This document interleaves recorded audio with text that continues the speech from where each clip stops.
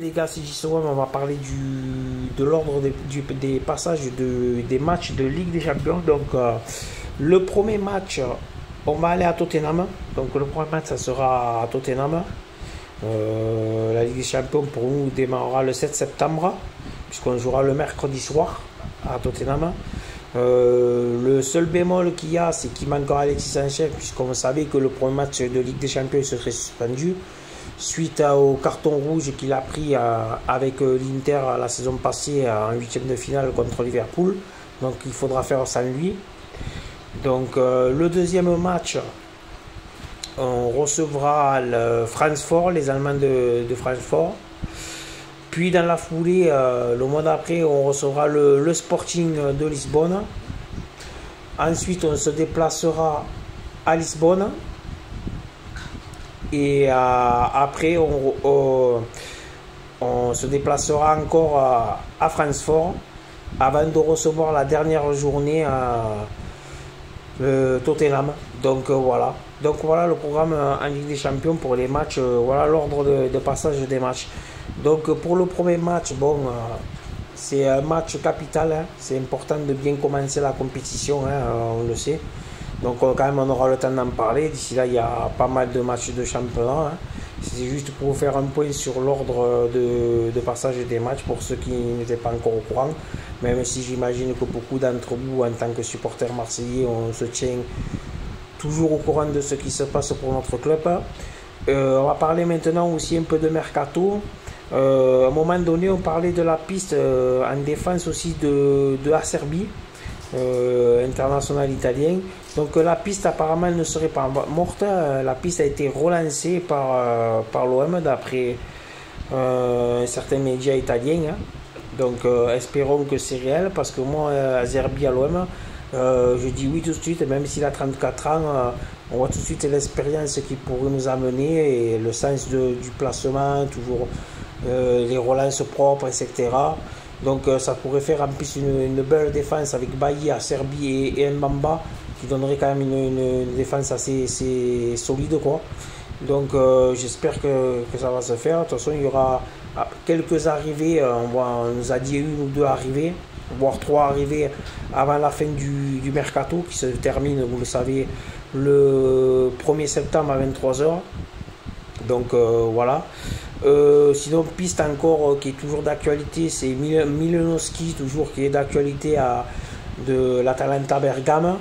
Euh, donc, on va voir si ça va se faire ou pas. Après, beaucoup de, supporters ne sont pas pour l'échange qu'ils que voulaient, voulaient faire dans la transaction avec Ender, avec un échange.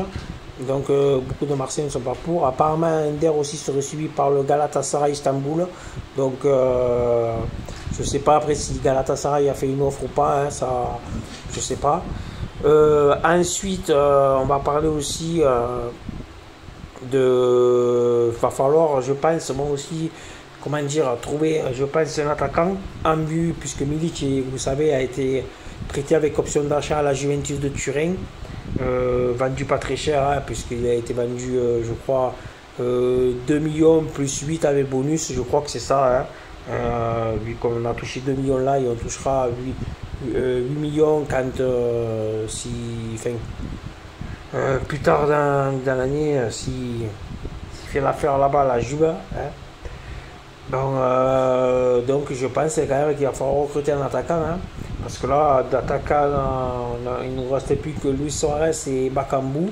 Même si euh, euh, Sanchez peut dépanner dans l'axe, Sanchez, quand même, c'est plus son rôle de, de, plus de jouer autour de l'attaquant ou, ou un meneur de jeu, à côté de Dimitri Payet, par exemple. Donc, euh, donc voilà, je pense qu'il faudra recruter un attaquant. Après, est-ce qu'il y aura un attaquant qui va arriver, oui ou non, ça je ne sais pas. Mais je pense qu'il nous faudrait un défenseur euh, central de plus en priorité et un attaquant. Euh, et un attaquant Donc voilà ce qu'il nous faudrait. Après, Milinowski, s'il vient, c'est du bonus, comme on dit. Par contre, pour Ender, je sais pas, je, suis un peu pessimiste de laisser partir Ender s'il y a vraiment un échange là-bas. Moi, je pense quand même que valeur marchande, c'est pas trop équitable. Vu qu'Ender, il a 24, 25 ans, euh, euh il en a 30, Ender, quand même, Il faut Folland. Bon, là, c'est vrai qu'il a eu un peu de mal en début de saison parce qu'il n'est pas habitué à ce, poste-là, un peu plus euh, dans l'axe de, euh, du milieu de terrain, au cœur un peu, un peu au cœur du jeu. Quoi. Il est plus habitué à jouer, comme je vous ai expliqué, comme vous le savez, de toute façon, sur le côté, euh, sur le côté gauche de l'attaque, c'est-à-dire ailier. Donc, on verra bien ce qu'il en est. Donc voilà, c'était pour faire une petite vidéo pour vous tenir au courant notamment du programme de la Ligue Champion. D'ici là, les gars, on se revoit pour le débrief de Nice-OM qui se joue euh, demain à 15h avec une erreur un peu stupide alors qu'on aurait pu nous le décaler.